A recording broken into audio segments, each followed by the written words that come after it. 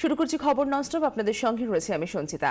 Rose Valley মামলায় ED officer Manoj কুমারের বিরুদ্ধে ওঠা অভিযোগে তদন্তে বিশেষ দল গঠন করেছে ইডি। আজ দিল্লি থেকে রাজ্যে আসছে এই স্পেশাল টিম আমরা বিষয়ে কথা বলব। সিজার মন্ডল আমাদের প্রতিনিধি রয়েছেন আমাদের সঙ্গে মোর্চা টেলিফোন লাইনে। সিজার, কি তথ্য রয়েছে? দেখো মানস কুমার যে অ্যাসিস্ট্যান্ট ডিরেক্টর পদমর্যাদার এই অফিসারের সঙ্গে গৌতম কুণ্ডু সিএর ফুটেজ প্রকাশ্যে আসার পরই গোটা বিষয়টা কিন্তু অত্যন্ত তদন্ত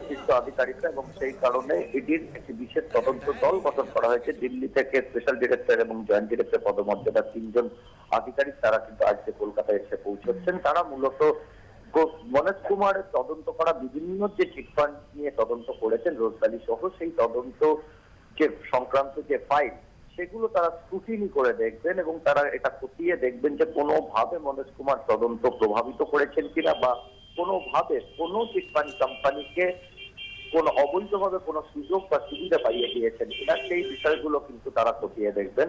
এবং তার পাশাপাশি মনোজ কুমারকেও আজকে ডাকা হয়েছে। তিনি আজকে ফাইলগুলো হ্যান্ড ওভার করবেন এবং সেখানে যদি তাদের কোনো জিজ্ঞাসা থাকে, সেগুলোও কিন্তু মনোজ কুমারের সঙ্গে তারা কথা বলবেন এবং আশা করা যাচ্ছে আগামী সাত দিনের মধ্যে এই তদন্ত রিপোর্ট প্রকাশিত হবে। ধন্যবাদ, সিজার।